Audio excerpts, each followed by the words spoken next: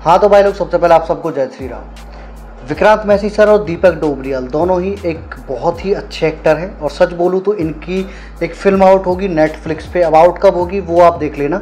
Sector 36 करके एक जो ट्रेलर है, इन्होंने आउट किया है। उसके बारे में ना मैं बात करूँगा।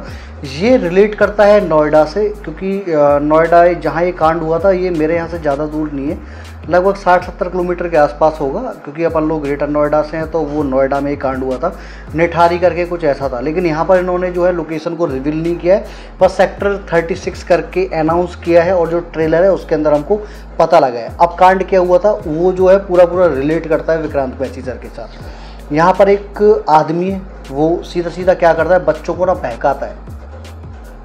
उनको लालच देता है, उनको टॉफ़ियाँ देता है, कैसे भी उनको बहकाने के बाद उठा के ले जाता है, उनके अंगों की तस्करी कर रहा है वो बंदा।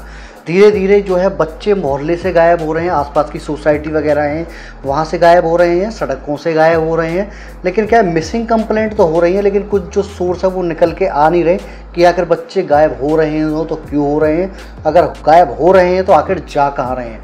दीपक डोबरियाल सर लग जाते हैं इस केस में और फाइनली हो जाता है कांड। वो बोलता है कि भैया, तुम्हारी भी लड़की है कि हाँ हाँ है। कि नहीं, मेरी भी लड़की है, वो मैं गाँव में रहती है तो मैं उसको मिस करता हूँ। एक्चुअल में वो उनको एक, आप बोल सकते हो थ्रेड दे रहे थे विक्रांत मैसी सर दीपक डोबरियाल को कि तुम्हारी भी तो एक बच्ची है। मतलब मैं तो तस्करी करता हूँ, भैया, किडनी फेफड़े निकाल के बेच दूँगा।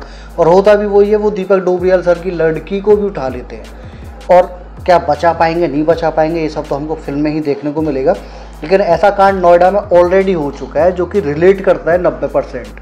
अब इन्होंने कहानी के अंदर क्या क्या फेरबदल किए हैं, क्या, कैसे, क्या हुआ है, उसके बारे में तो मैं देखो यार फ़िल्म को देखने के बाद ही बताऊँगा। और ये जो निठारी वाला जो कांड है, ये बहुत टाइम हो गया जब हम लोग छोटे थे, उतने बड़े भी नहीं थे, और मतलब छोटे ही थे मतलब शायद पंद्रह या अठारह साल के आसपास इतने ही थे तो बच्चे ही थे, पढ़ते थे हम लोग उस टाइम पे। अभी के लिए आज के लिए इस वीडियो में इतना ही। मिलते हैं बहुत जल्द एक नई वीडियो में, नए टॉपिक के साथ। तो तब तक के लिए बाय